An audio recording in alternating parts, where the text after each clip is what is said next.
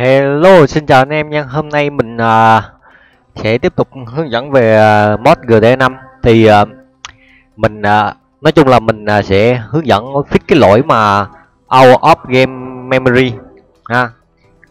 Nói chung là nó nó khi mà vô trong game là mình chọn cốt truyện á, vô offline á thì nó kêu là nó hiện lên một cái bảng gọi là nó uh, lỗi gọi là out of game memory làm ơn ờ, report hoặc ta lại game thì ờ, ờ, cái này là do cái gì nè game của Rockstar nó nó giới hạn ờ, cái mà bộ nhớ nó memory của nó có 500 b thôi. Thì mình sẽ dùng một cái tải một cái file và, và mình mình gắn vào để cho nó tăng lên 650 m. À, thì ok để mình ok cái này cho nó out game ra nè. Rồi uh, thì đó cái uh, cái file này tên là Hep Limit Adjuster uh, 650B ha. Thì các bạn cứ search. Đó hoặc là các bạn uh, có thể list dưới video của mình uh, file ở dưới video của mình nha. Thì trong đây nó ghi là Rockstar nó limit cái, cái game của nó là chỉ 50 MB thôi. Thì mình sẽ tăng lên 600 để mà nó không bị lỗi nữa.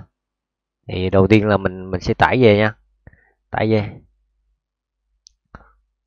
tải về thì nó nó, nó đây đây là cái file tải ha.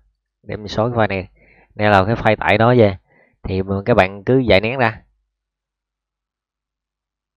Đó là cái file này thôi. Nó chỉ có một cái file này thôi.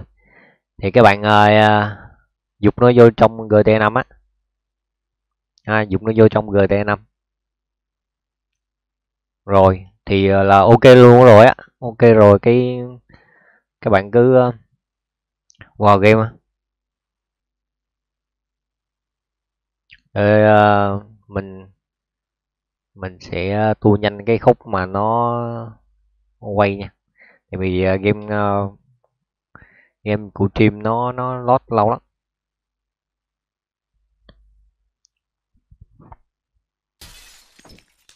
Thì mà nếu mà chơi game mà các bạn có bị lỗi mà văn game á thì mình có một cái clip mà hướng dẫn uh, fix lỗi văn game của người người chơi hay gặp nha người mới á. Nhưng mà đó thì ờ, nếu mà là văn game thì vô game rồi chơi mod xe mod gì nó tự động nó văng ra thì mình dùng cái fix lỗi fix này. Còn mà nếu vô game mà nó bị báo là game up mom out memory á, thì uh, là do cái lỗi này lỗi ờ, thì đồ bộ nhớ của Rockstar game mà tải từ Rockstar thì nó hay bị vậy. Cho nên các bạn cái là bây giờ mình vô cốt truyện lại nè bình thường nó load bình thường nó không có bị lỗi liền luôn. Hồi nãy là nó xuất hiện cái bản lỗi luôn. À, khi nhấp vô thì nó xuất hiện cái bản lỗi liền. Thì ờ, bây giờ thì mình nhấp vô cốt truyện thì nó vô được bình thường.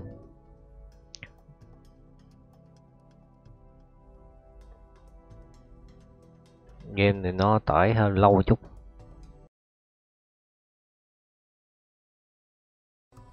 Thì uh, các bạn có thể coi uh, thêm những cái clip mà mình hướng dẫn mod trên kênh của mình nha. Thì sau này mình sẽ làm nhiều clip. Có thể là còn nhiều clip nó hay hơn nữa. À, mình sẽ mod từng uh, nhân vật từng uh, dòng xe luôn.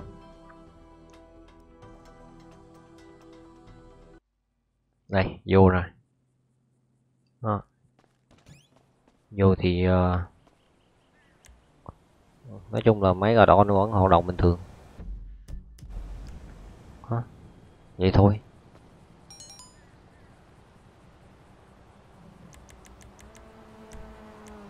đây chuẩn bị clip ờ, sau mình sẽ hướng dẫn mod cái ờ, skin này ha trên cái ờ, PC Channel 5 skin mai đó. Xin hot girl.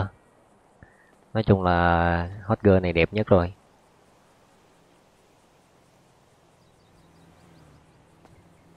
Rồi, ok, cảm ơn các bạn đã coi clip của mình nha. Nếu mà thấy hay, có thể like, share, subscribe, đăng ký kênh của Quạt Gaming.